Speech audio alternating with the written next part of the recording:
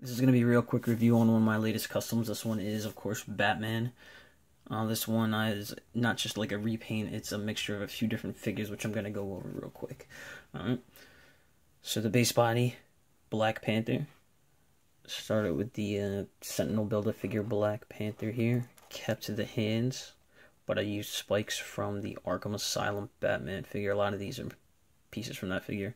Then I just kind of like molded over to make it look solid. This belt is from an older Batman figure. I don't know what line it was from, but it didn't really have a lot of articulation, so gone. The hips are from the Captain America, Ultimate Captain America. See so many of them. Um, not the one with the stupid useless holster that was out. So I used the thighs from that figure, the knees from that figure, and then the boots are actually from Cable an older series cable. I really like that cable because you had your toe articulation. And you had these cool little straps over here. The only problem were the boots were yellow, so trust me when I say it was a pain in the ass. A lot of grinding with my Dremel. A lot. Alright.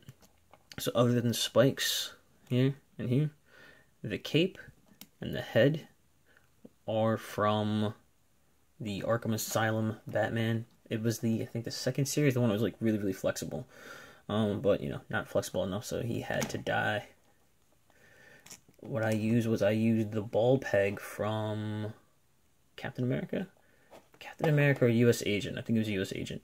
It was a some more of a legend figure with a bigger ball peg because some of these older figures just had some weird little peg.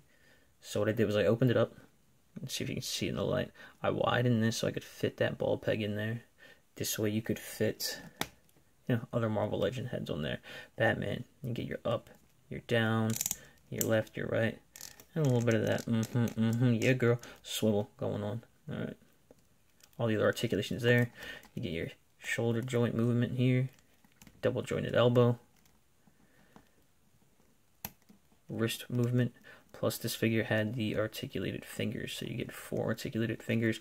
I sanded down the uh, claws that he had. He had those gold-tipped claws on there. So, you know, sometimes Batman's depicted with pointed fingernails, so I left those little claws on there. Give him a little point. We have hip swivel here. Rotates his upper thigh. I'm sitting here forgetting the uh, ab crunch, the ab crunch. He has, there it is, the ab swivel. Check it, check it, check it.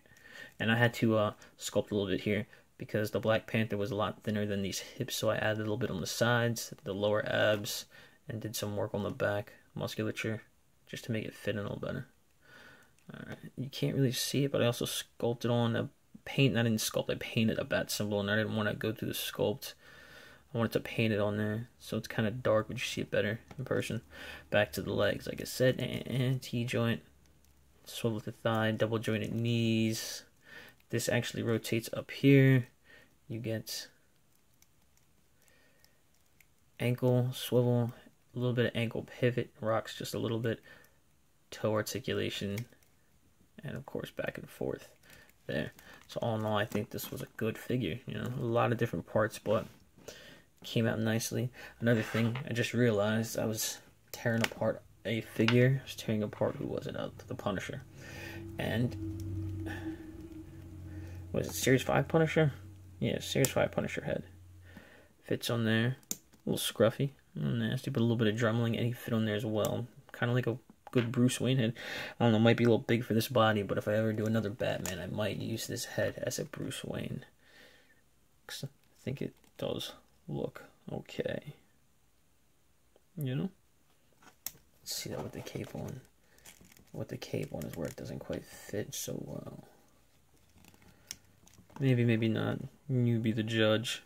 Well, Batman. Well, that's that. Um, gonna throw this guy up on eBay. So if you see it, bid on it. Remember to subscribe, like my uh, Facebook channel, 609 Customs, my Facebook page, YouTube channel, whatever. You know what I'm saying. Um, yeah. Hit subscribe, go to the Facebook, like that. Thank you, man. Later.